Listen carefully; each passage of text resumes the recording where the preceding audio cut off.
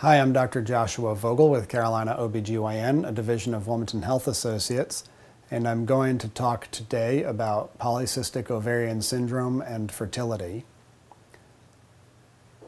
One of the more common and disturbing problems for the large number of women with polycystic ovarian syndrome is difficulty getting pregnant.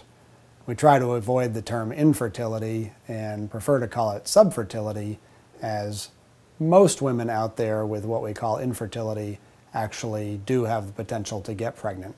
However, in the case of polycystic ovarian syndrome, the hallmark of this illness is lack uh, or absence of consistent ovulation.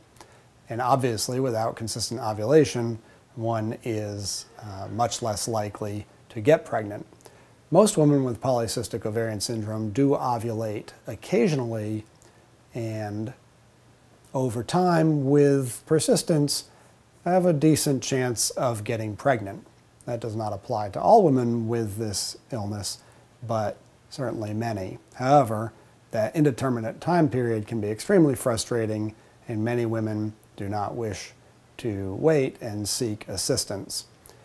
Some basic subfertility testing is in order to check the semen analysis of the partner and to make sure the fallopian tubes are open. But once one has excluded other illnesses and diagnoses, uh, often the use of fertility drugs, uh, commonly used one called Clomid, can be very effective at successfully helping women with PCO to achieve pregnancy. This has been a discussion of polycystic ovarian syndrome and fertility.